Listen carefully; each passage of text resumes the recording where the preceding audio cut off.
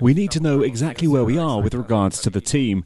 We've only got three days to form a squad who has every chance of success in the league, the Cup, and the Copa del Rey.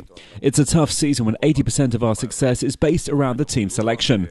The boys responded very well in a relatively short time, as they were so involved with the fans and knew what it meant to them to reach the Champions League. However, now we need to focus on the team formation in preparation for the three competitions. Malaga are now looking forward to a whole new experience for the first time in the club's history.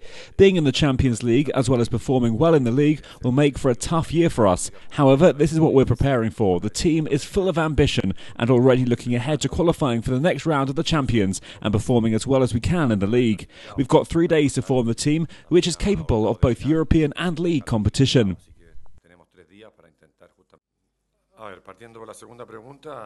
The team can't continue like we have been recently, with such short recovery times between matches. A lineup of 16 players cannot compete in three major competitions. We've got 72 hours to structure the team, taking into account the club's objectives, but we've got to form a team that can go as far in these three competitions as possible.